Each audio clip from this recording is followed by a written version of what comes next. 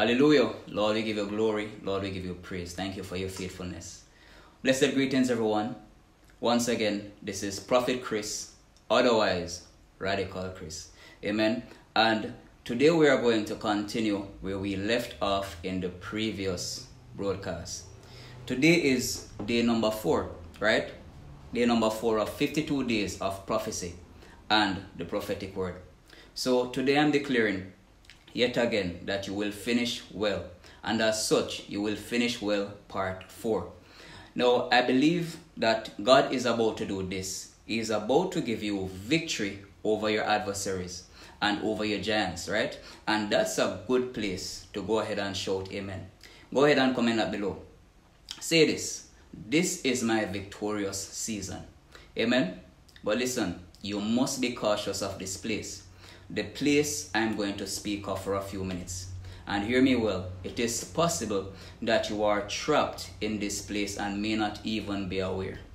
So, Sovereign Lord, as I share what I believe you minister to me to share with others, I thank you for the privilege to say yes to the counsel of your will. Amen. Lord, I thank you that as I open my mouth, you would have already filled it with your words. And as such, have given me the tongue of the learned to know how to speak a word in season to the weary.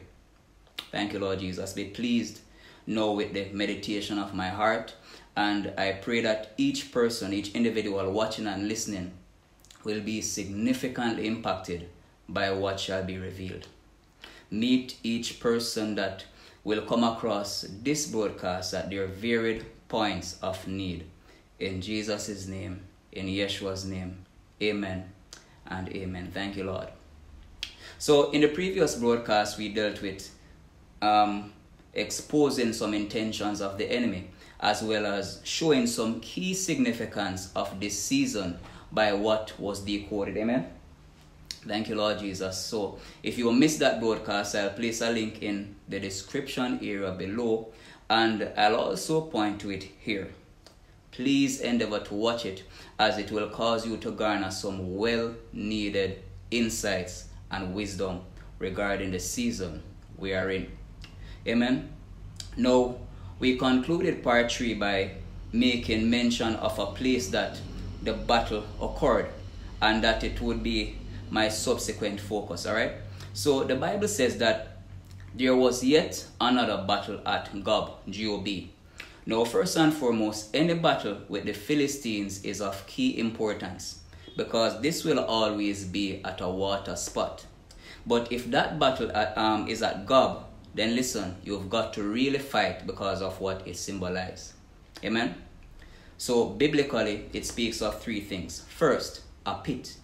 Now, this enemy wants to keep you at a low place. He wants for you to be at the lowest place possible in your life. Mm? Be it in your spirit, right? In your finances, whatever the case may be. Listen, he wants for you to experience your worst. He wants for things to reach rock bottom. Mm? For things to be so terrible and unspeakable that your entire world um, is shaken. This also represents a dark place in your life where one of two things can happen. You can either feel lost or you can become sinister and have dark thoughts. Listen, you can't afford to be here for long periods, amen? And that is why it's very important to realize where Sibbecai was from and who he was related to. Listen, he is a descendant of Judah, which again means praise He is an Hushathite, which again means east and silence, right? You've got to know what to be silent about in this season, but hear me well, praise isn't one of them. Amen? Hear this, man of God. You've got to make haste to praise, lest you keep being drawn or dragged into a low place or entertain it. Wear the garment of praise for the spirit of heaviness. Amen? Go ahead and declare this. And even comment it below. Thank you, Lord Jesus.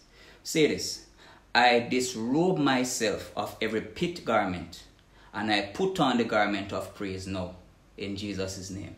Amen. Listen, you can even begin to lift up your voice in praise right now and even after this broadcast. Because as you do, you will be repositioning yourself from where the enemy may have affected you. Amen. Thank you, Lord Jesus.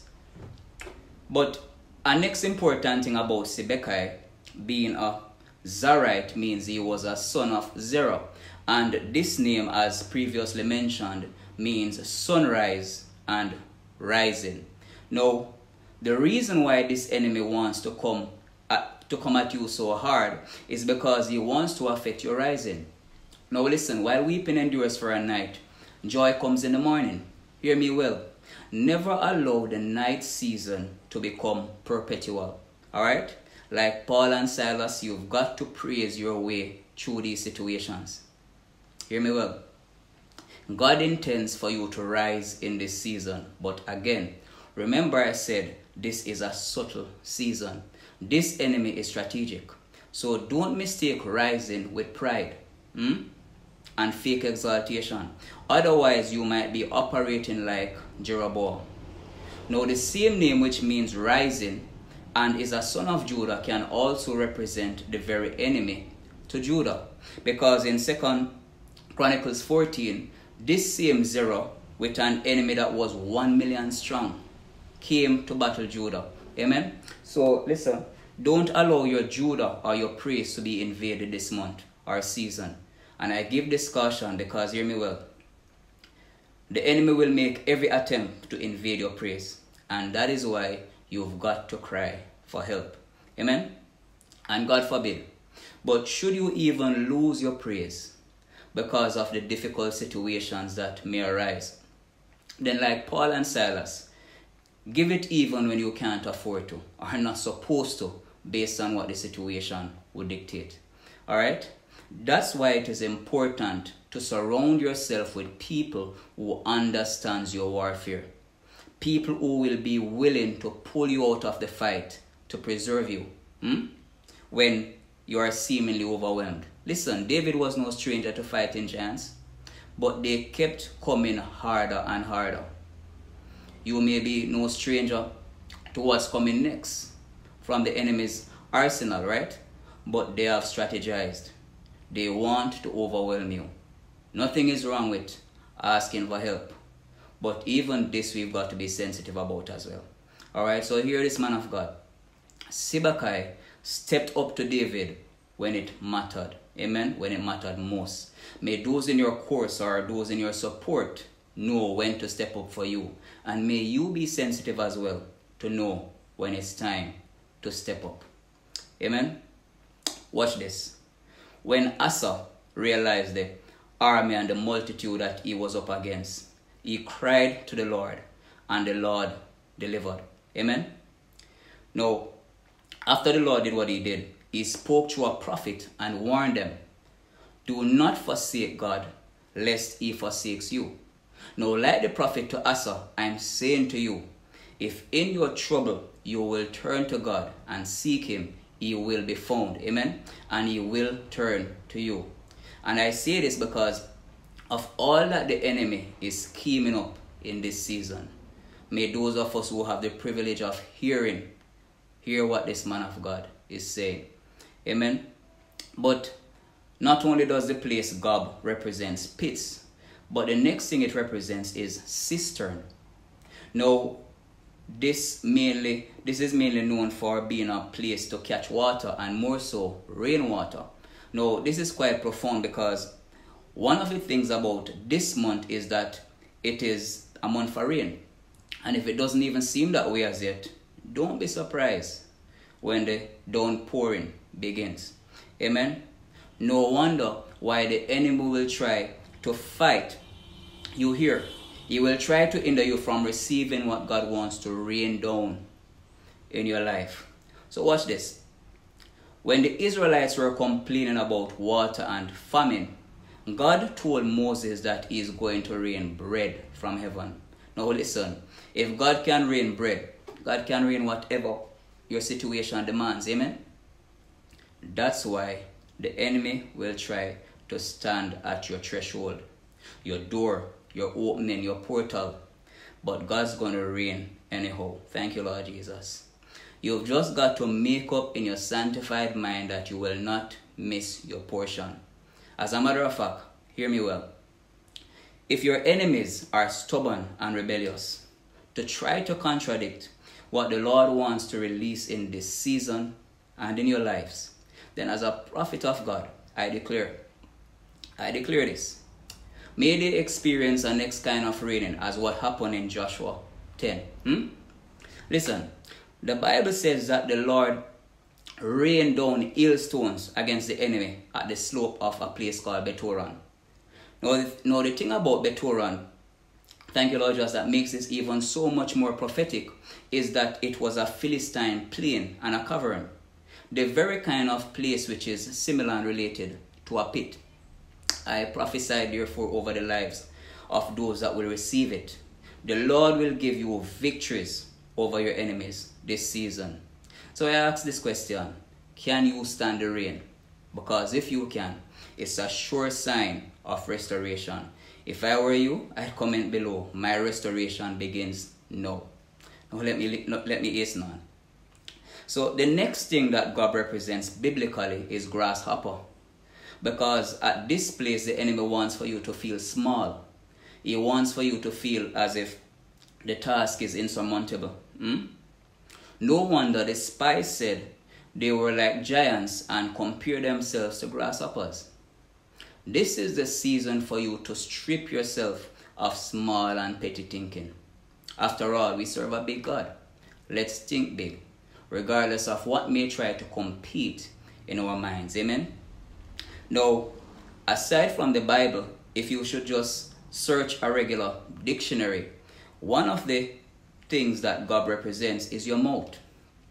So if someone should, should say to you, shut your gob, they are saying, shut your mouth. And listen, a closed mouth is a closed destiny. Amen? Now, when a battle is fought here, the enemy is going after your ability to praise. He's going after your ability to prophesy and he's also going after your after your after your ability to pray. And if he can avoid you from doing these three things life for you may be void and undesirable. Hmm? to say the least. You will just be existing for the sake of being above ground. My god. Listen. I'm now beginning to understand why the month of november in previous years has always been one of two things and in some cases both either the lowest points in my life and at the same time the peak of my battles. Hear me well. The warfares I have encountered have always intensified round about this season. Sorry. Hmm? Unbearable to say the least. I just give God thanks for grace. This time, however, God has given yet another revelation. Alright? So it is crucially and critically important for you to discern the subtlety of this season. Know when to keep silent and when to open your mouth. Hmm? And if it's going to be open, then may as well it be for one of these three to praise, to prophesy, or to pray. Amen? The enemy will orchestrate situations that will cause you to behave impulsive and say as you feel. Hmm? No, that may be one of the times to be silent unless you're seeing what is written and in context as Jesus did. The enemy will also want for you to lack the desire and zeal to pray. That's the time to pray even more. Hmm? And no matter what may come your way, praise your way out. Amen. Declare right words this month.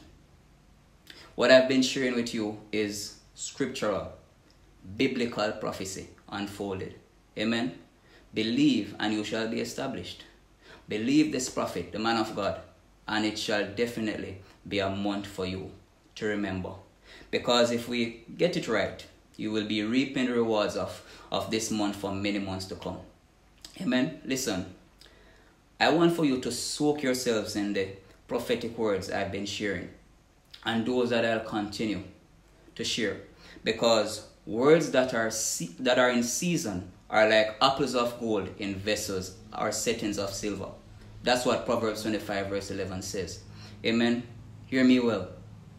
I have purpose in my heart to release what the Lord reveals to me every day for 52 days at 6:15 p.m.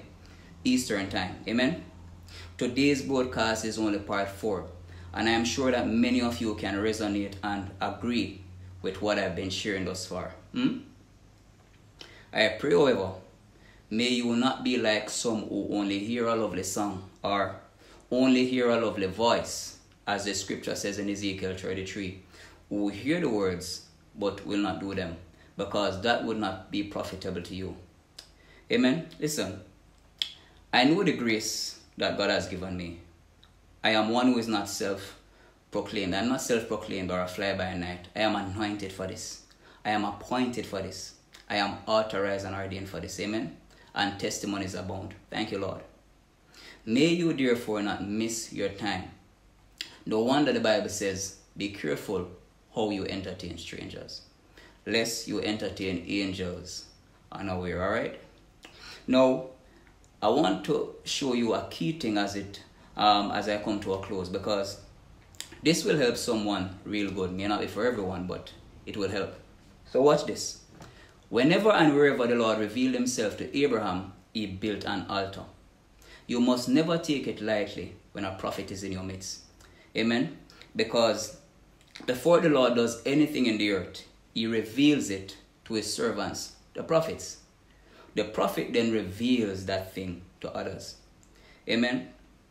So, as the Lord reveals his intense purpose in your heart to respond, because every word demands a response.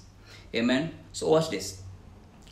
When the Lord said to Abraham to sacrifice his Isaac, his Isaac started to respond. Hmm? I see the wood, I see the fire, but where is the lamb? I want for you to understand as well that Whenever the Lord requires a sacrifice, it may start to speak to you, hmm? and it may seem unreasonable and give you all the reasons and excuse why it should be better off not being done. I hope you're following. But Abraham made a profound statement. The Lord will provide himself a ram. Now, because he was willing to make the sacrifice in the first place, the sacrifice did not only have the ability to speak to him, but also to speak for him. Now, when the Lord requires something of us, He has already made provision for our next. It was at this point that God revealed Himself as Jehovah Jireh to Abraham. Amen.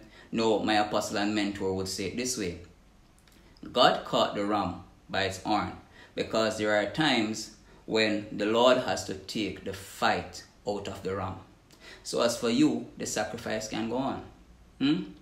Listen, for many of you that are watching and listening, there are some things that have been fighting you. But you must trust the Lord that He can take the fight out of that thing, whatever it is. Amen.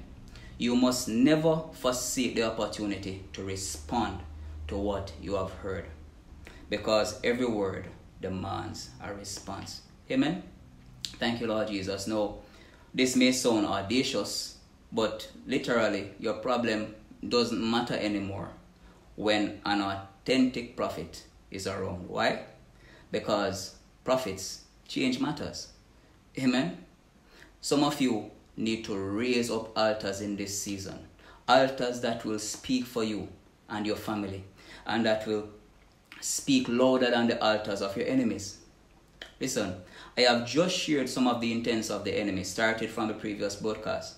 And if there is anyone who ought to be doing the finishing, it is you and I. Amen?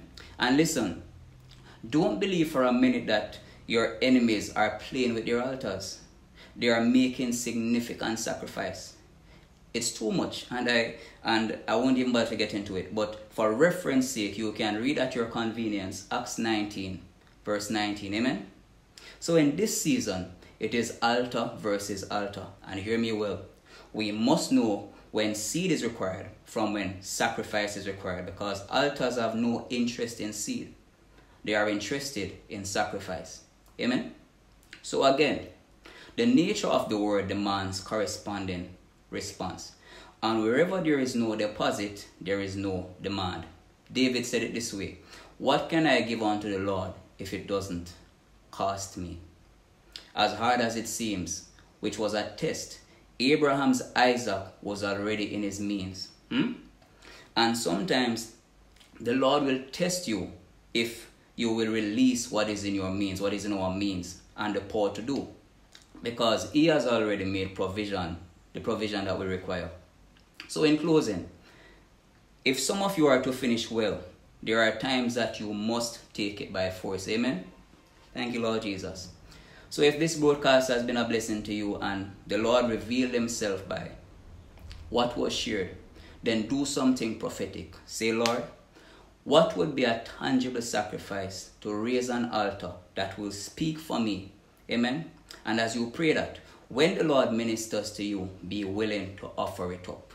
Amen. And let it contend against the altars of your enemies and against the place called Gob, G-O-B. So if you are desirous of doing this, then there will be links in the description area below as to how it can be done. Alright? I spent a little time on this, of course, on this part because when it comes on to the prophetic, a lot of things are assumed. But listen, wisdom is profitable to direct. It is better to know. Amen? And for some of you, listen, what you will finish, hear me well. To finish that thing well and the season well, you must connect well. So as usual, I trust that you were blessed by this and if you were then go ahead and hit that um, hit that like button and begin to share this broadcast with others. Amen. And if you haven't as yet subscribed, then go ahead and hit that subscribe button if you want to be notified each time I share what the Lord reveals. Amen. Thank you, Lord Jesus, for your faithfulness. So Thanks again, guys, for watching and listening. Thanks for your time. And until the next broadcast, which will be day five, every blessing and shalom, and to God be all the glory. Hallelujah.